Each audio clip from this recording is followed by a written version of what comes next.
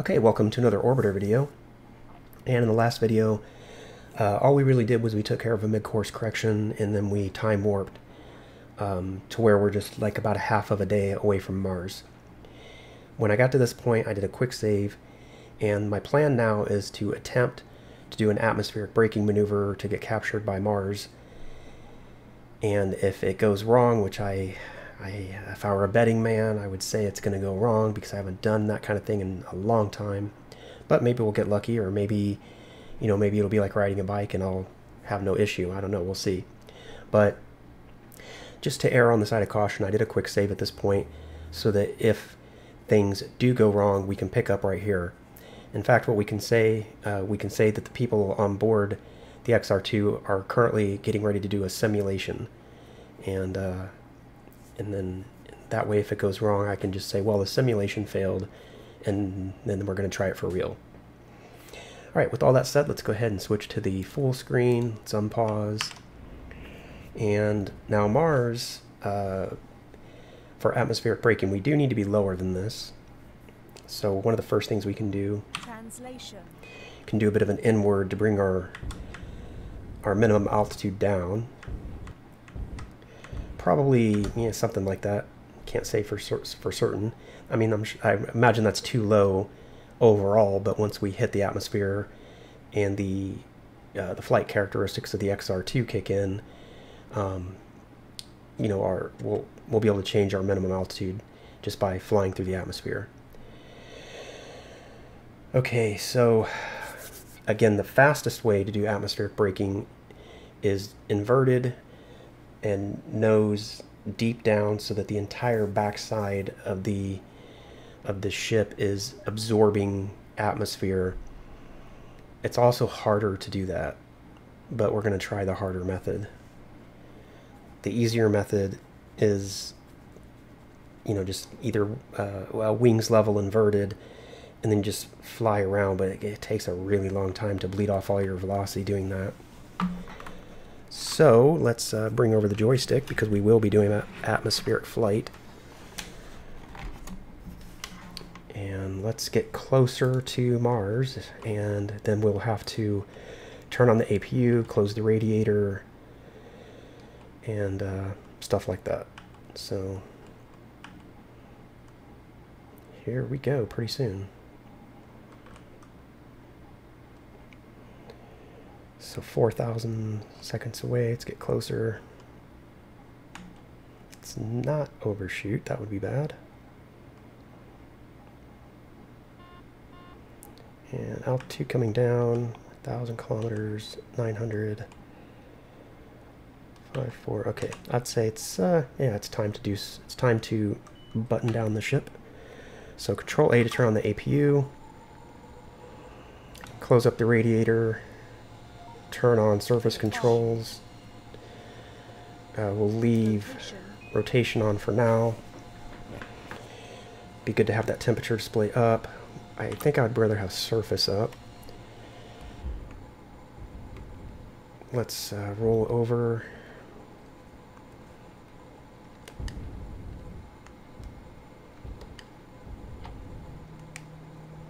And we're going to need to have our APA set. This, I, I feel like this is going to fail. I just, I just don't remember this very well. But the idea is that we're going to enter the atmosphere something like this. We still have time, so I'll give you an external view of what that's going to look like. Um, so, we'll, and we'll, actually we'll be, boy, that looks terrible. Why does that look so bad? Hmm. Um, but yeah, and we'll actually be even more over than that. Yeah, that'll basically be our position going into the atmosphere. And keeping that under control is going to be really challenging. In fact, I probably, come to think of it, I probably don't even need the joystick for what I'm about to do. I don't think I do. I think it's I think this is mostly done with just attitude control.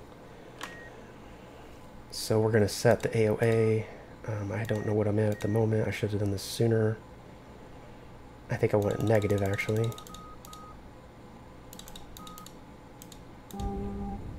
Oh my god. That's not doing what I want. And we're we don't have a lot of time to figure this out.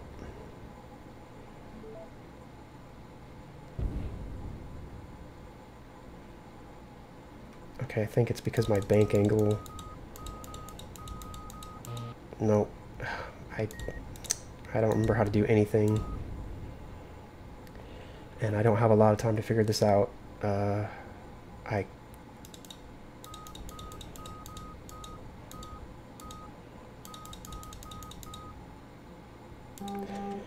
You know what? I'm not even going to do that because it's there's no time to figure it out. So we're going to take the we're going to have to take the slow approach. Because I've only got a very, very little bit of time to figure out. So we're not going to do it. We're not going to do the faster approach. We're going to do the slower approach. And what I'll do, if I have to, is I will just do video editing, which I hate doing. I like to just record the videos and upload them. I don't, I never video edit anything. But if this, uh, if this works out, then let me throw out the air brake. Um, do we need to be inverted? I don't know. I don't remember anything. I didn't watch this far into my absolute beginner guide. Although I do actually remember uh, my very last absolute beginner guide. I got to Mars, but I never actually did this part of it. Although I think I did, I think I did the braking maneuver. Let me bring up temperature display. But I never finished the Mars landing. I remember um, I always planned on it, but it was that was the time I I put down the videos. Um, I, I continued recording videos after that, but I never got back to the absolute beginner guide. And then school started and I just gave up on the whole thing.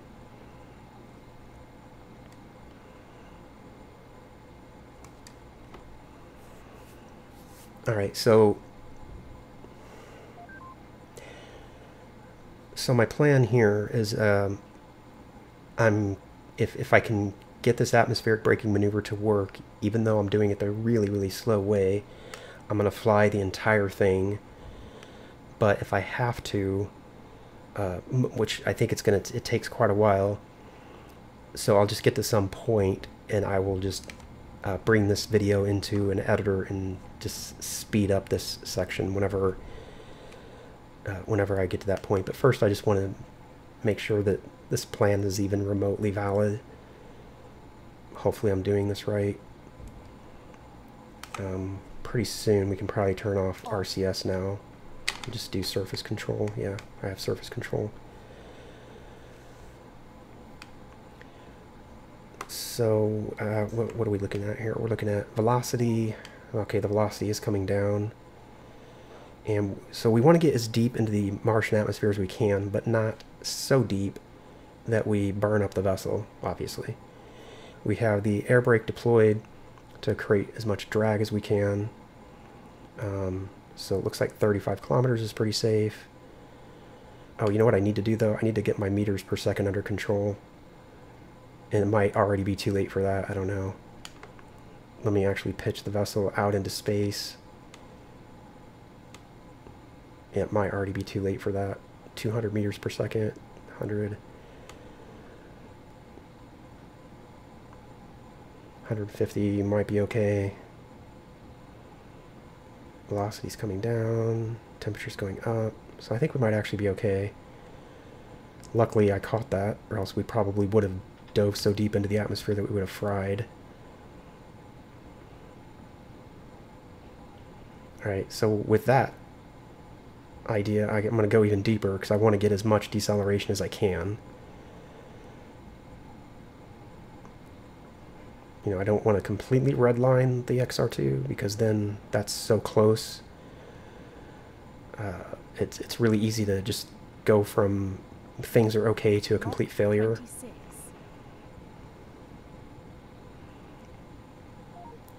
So I just, but I want to get down as deep as I can get away with.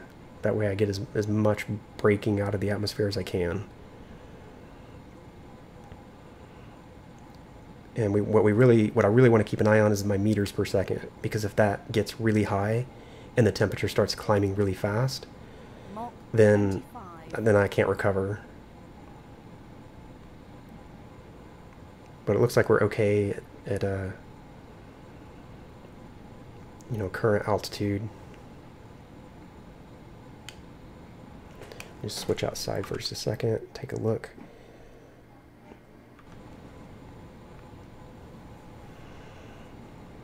All right. 24. What I could also be doing, okay, we're captured by Mars, so that part is at least a success. All right, let me tilt back out because temperature's increasing and meters per second is climbing. So actually this does this doesn't taking nearly as long as I thought it would, so far anyway. Mach 23. The other thing I could be doing um, I'm a bit too busy to worry about at the moment, but I could be trying to steer the vessel into plane with um, APU fuel 80%. with the target base.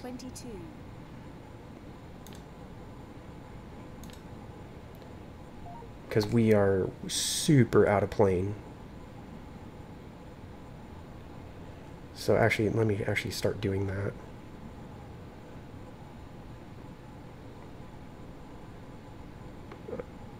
Um, it might even be a bit too late, but because I'm already captured and my APA is quickly coming down.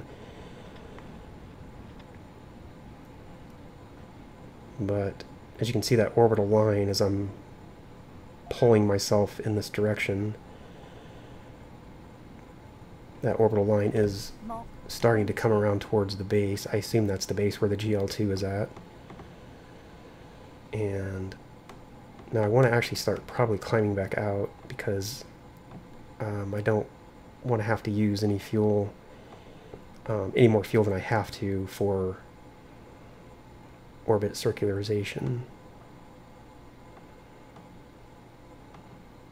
But we will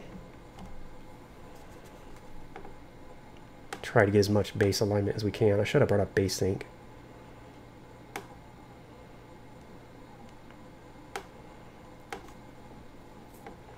Let me bring back in the air brake.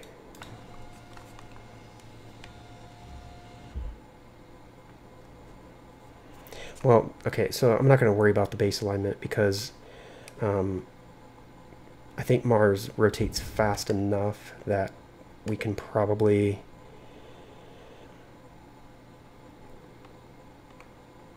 Mm, I should get a bit more braking than this. I was going to start climbing back out, but... Eh, I, yeah, I'm, I'm just going to call it. I'm just going to leave it like it is. We're going to climb back out. Um, but I was going to say, um, yeah, if I, I if I thought about it sooner, I probably could have got completely in plane with the base. But uh, Mars uh, does rotate, so it may so we could just orbit a few days to get our base alignment better than better than what it is at the moment. Um, and if we get it perfectly lined up, we may actually, um, unless we plan on landing on the very next orbit. And again, we're going to have to use a fuel cheat or something because there's no way we're going to be have enough hover to get down with 11.5% of main fuel remaining. Alright, that's all I'm going to need the joystick for. So let me set that aside for now. And turn off these. Rotation. And we can extend the radiator.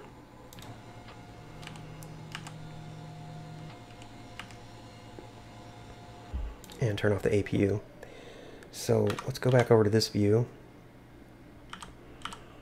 And the next thing that we're going to want to do. Um, so we're captured by Mars, but we're not in a very good orbit. We're flinging pretty far out into space, which is fine, but then coming back around, we're going to crash. So let's make sure that we get that taken care of as our next priority. I would say that's the next most important thing, hopefully. So we're going to go out into space a bit.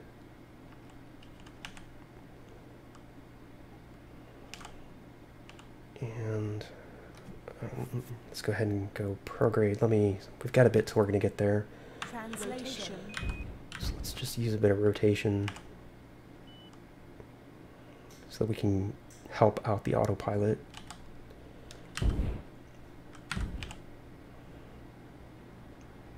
Apoapsis in 150 seconds. Okay, so using a bit of rotation, we were able to get more on point with prograde. So now we'll go into prograde. And we don't want to circularize our orbit, so we're not going to use burn time calculator. We're just going to bring up our PEA to, I don't know, 200 kilometers, 150, something like that. So we're getting pretty close to the high point of our orbit. Come out of time warp and add in a bit of main engine.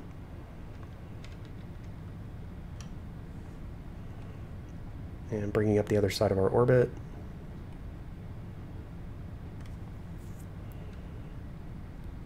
Some, and because I don't know when I'm landing just yet, I haven't decided that, so uh, that should be high enough for Mars, I think.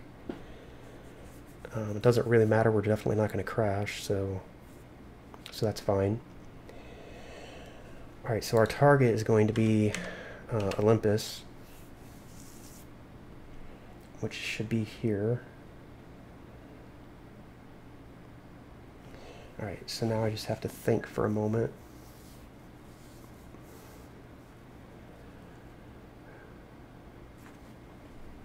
Alright, let me bring up base sync now.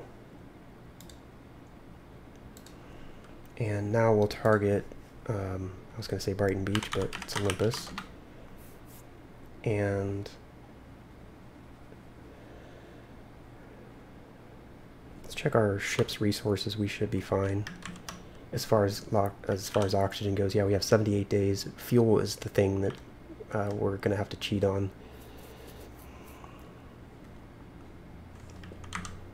Pretty sure. All right, so now I just have to I have to think about what I want to do. So I, okay, so I think I think I want to go around to periapsis and bring down the high side of my orbit. Let, us let's, let's plan on doing that because uh, as we as we orbit Mars, the base is it, it's going to get you know, this is where we're at at the moment, and it's going to get farther away. And then a few orbits from now, we're going to be 450 kilometers. Um, let's actually cycle through. So 385. I mean, eventually I would imagine we'll pass right over it. Let's put our number of orbits out to 99. So yeah, in 17 orbits we're 36. That's pretty close for a bit for a base sync. So so we'll plan on we'll, pro we'll probably plan on that. We'll plan on the 30s this or the 17th orbit will be when we're going to land. So so for now, let's go around to periapsis and hope that I remembered. Let me actually check my dynamic pressure as we. So right now we're fine. So we have we have just very little. All right, where's periapsis? 400 seconds out and we want to lower the other side of our orbit, so we want to be retrograde. I probably should have gone for 200 and 200, but yeah, we have some dynamic pressure here, but I don't think it's going to affect us. All right, just 100 seconds out. And we'll just manually bring down the other side of our orbit. And uh, let's get a bit closer. Let's go ahead and start burning main engines just with a little bit of main engine.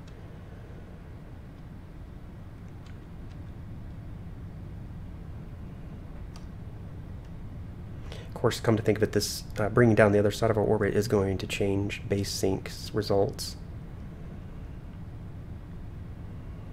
It'll probably just speed up I'm guessing it'll speed, well, it'll either speed up or slow down how soon we get to that orbit where we are, um, you know, 36 kilometers out.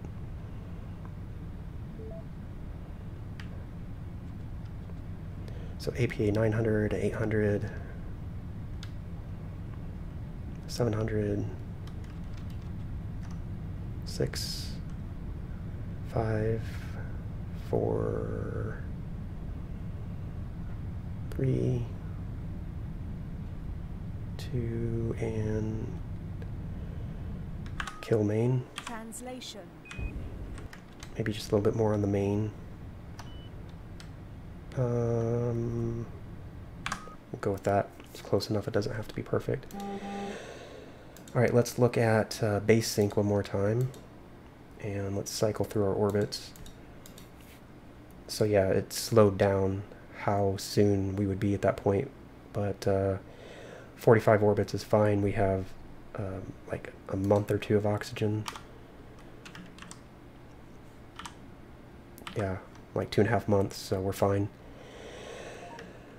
Okay, so let's uh, let's just think about things for a moment, and then we'll end this part of the video uh, in this in this series.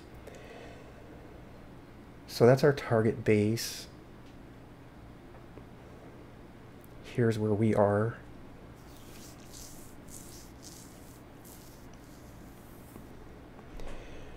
All right, we're definitely gonna, we're definitely going to need more fuel. So let me let me do a quick save now. So save and pause. Let me switch to the overlay. So I think that's going to wrap it up. And when we come back, we're going to use a fuel editor to give ourselves more fuel, because otherwise we're just going to crash into Mars. And um, I'm not even sure how I would have brought enough fuel with me to land on Mars because I, I needed one of the containers full of LOX. and the other one, even if I had remembered to put it in, that would have just ensured that I completed the the TMI burn, the trans-Martian injection burn.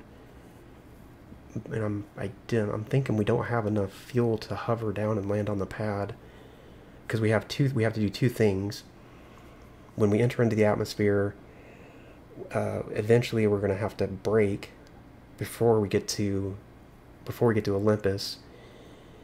And once we start braking, um, we're going to have to have some hover to offset. We'll figure it out in the next part.